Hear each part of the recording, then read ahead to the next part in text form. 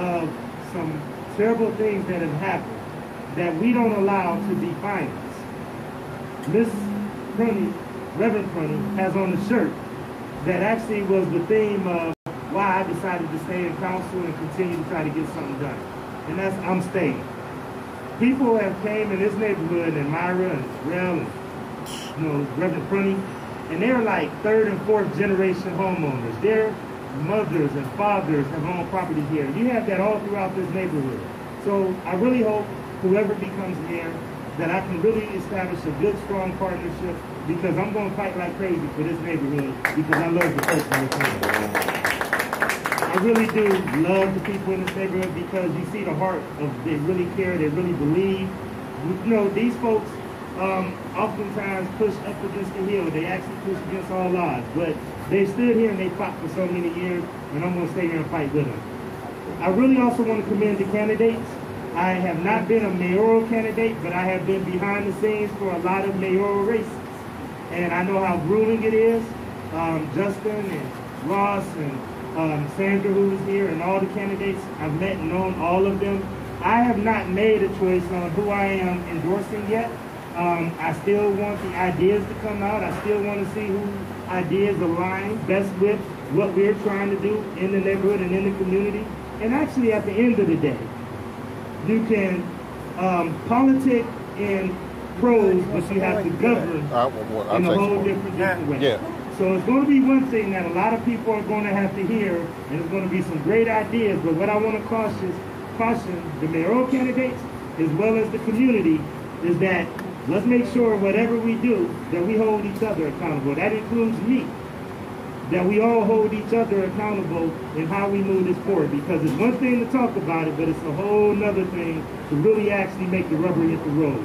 Reverend Prunty, you have my commitment that I'm going to work with whoever the next mayor is. And you know, East 93rd will always be a priority to me. I apologize in advance. I do have to go to another event. But thank you all, and I appreciate you so much. Thank you, Councilman. What I wanted to talk about before everyone leaves is this. We have right here in this community a sit-down restaurant. I don't see Mitch and I don't see Penny, but they are the anchor of this community. We don't have any other sit-down restaurants. Okay, I'll be right And if back. you Okay, look at the pictures on the wall, it speaks volumes. They give out food during the holidays, free food to people who need it. When asked to assist in basic any area, they are there.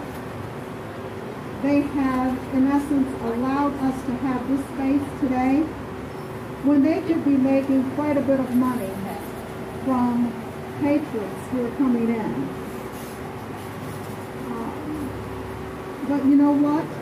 They thought it was important, so they allowed me to rent this space. I understand what our councilman is saying about making sure that we are committed.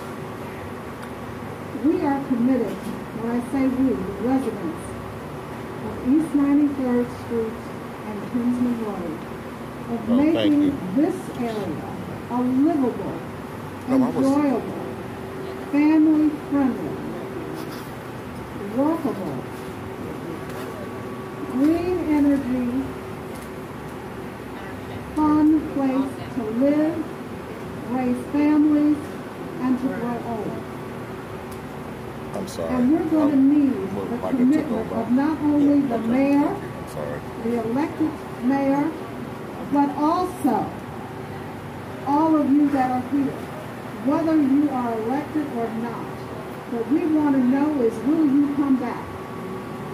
And if you are elected, we want to know if you will come back to this place. You know, many years ago, there was a place called Lancers. Some of you are nodding your heads. Lancers was a place where the community came, where the servant leaders came, and decisions were made. We don't have a place like that anymore. So let us make this place like that. Could you ask Ken and, uh, Mitch to come out, please? Because we're waiting on them. It's important that servant leaders, candidates, politicians come out to the community. And this is the only place that we have outside of a church to gather. Now, I love church. I'm a love. I love it. But not everyone is going to come into a church building. But everybody likes food. And everybody will show up. Uh, Pam, where is Nick? And she, she'll be right here. Now, we tried doing this last time. and I made a big, big Google.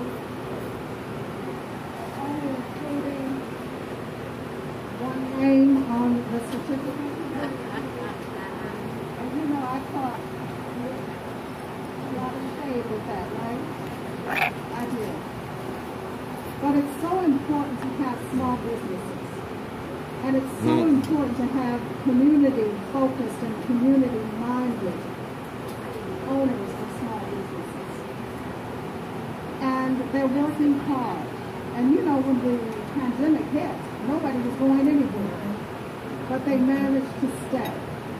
And we've got to do something to help them to stay. And so I'm calling out to these servant leaders, these candidates for office.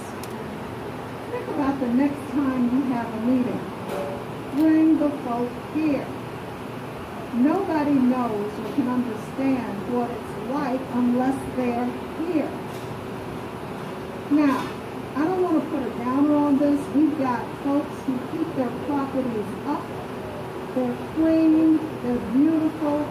I don't want you to think that we're living in a place which is absolutely horrible. That's not the case. People take care of their property. They do the best that they can.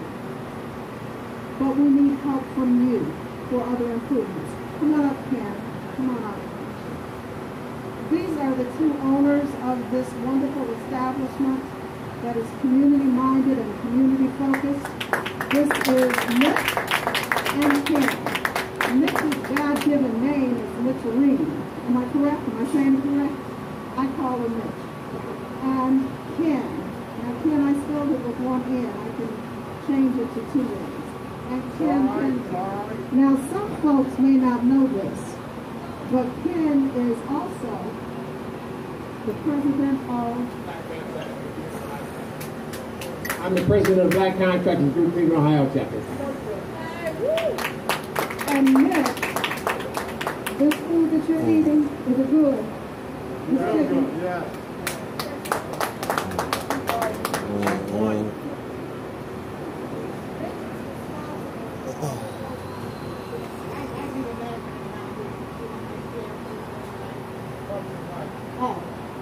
making sure that everything goes right, you know, and people get their orders out. I do that, I, that's what I do.